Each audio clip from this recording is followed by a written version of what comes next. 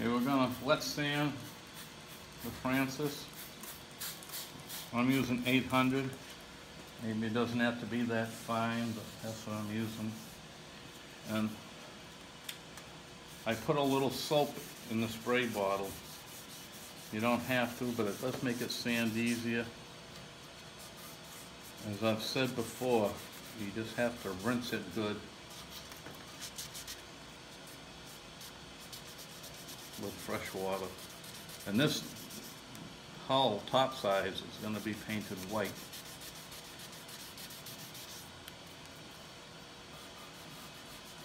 A little place I had to fill, and a place here I had to fill.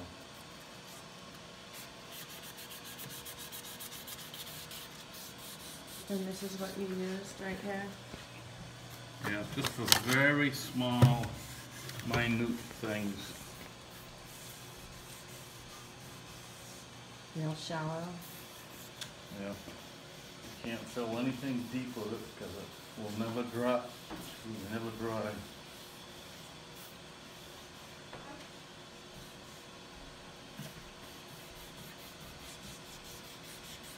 And how many coats have you put on since our last video before the, this wet sand? I think this was four coats on the, on my hull.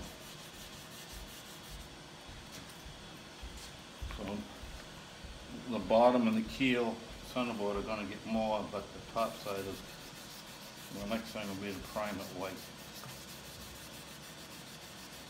So you're not even wet sanding that stained, um, bottom right now today, you're only wet sanding the top sides? Well, I'm gonna wet sand Oh, everything. you are, okay. Real carefully on that stain for people who stain their models.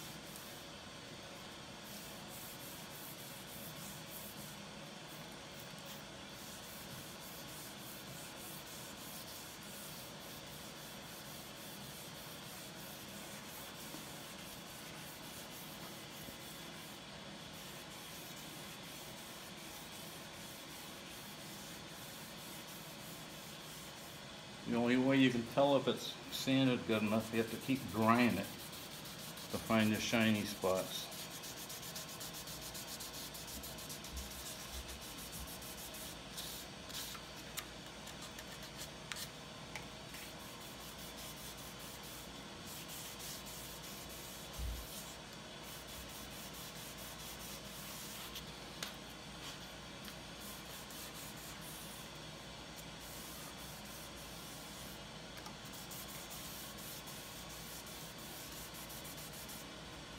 I don't think I've got it sanded good enough, but I'm gonna dry it now. And check it. Plus I gotta wet sand that rudder at some point. And what are you using to dry it, Dad? Well, I use Bounty myself for wet sanding. And if I was polishing, I, I usually use Viva. Viva's the finest, I think.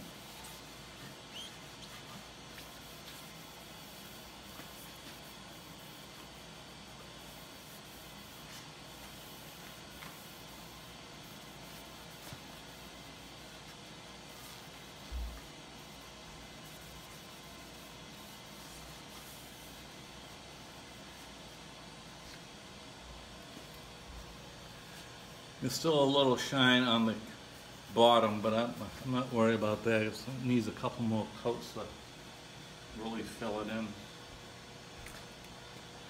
I'll sand it just a little bit more.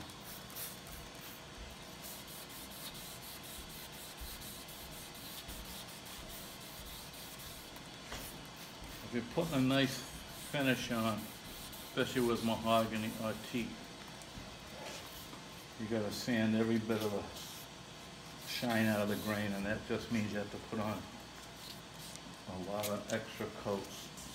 Yeah, you're gonna do a teak. How many coats do you think it would take to fill teak properly for a mirror finish? Could be seven or eight easy. Oh, yeah. Cause teak, you can sand it harder because it's not stained. Right. we call that knocking the grain down when you sand kind of hard to smooth it out. But you can't do that when you have staying under the varnish. Like I've said before, the old timers never did this on the original half models they made.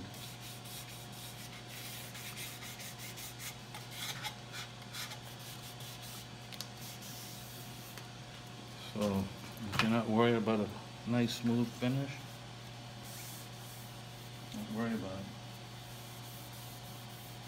I've never used water-based paint. I suppose some people may have to, maybe with the environment or something, but I don't know if you can wet sand water-based paint. No, I don't think so. Um, Once in a while, I've used water-based varnish, and it dries very fast, and you can wet sand it. But not, I haven't used much of it. What brand? Well, I don't know what I, it's been years, what have I found at the local hardware store? Oh, it's like Benmore. You know, I don't know what they have. this was quite a while ago. But if they don't want solvents around, I guess that's all there is, you have to. If you're not fussy about your finish, just wanna make it white and a different color for the bottom, I suppose the latex paint would be fine.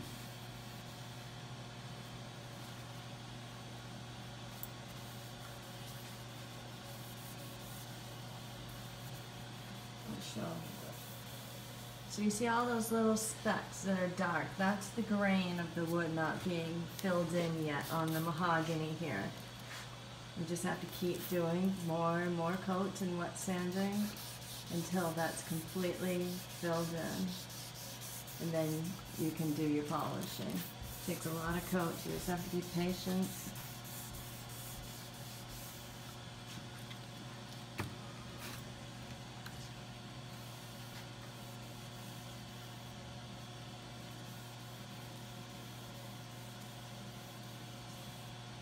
Okay, that's sanded good enough. I'm gonna, like I said, I'm gonna rinse it with fresh water. With two spray bottles, one labeled soap, one water. Maybe when we prime this top side white, I'll try to use the phone and Betsey can prime it. That's all right. You can do it.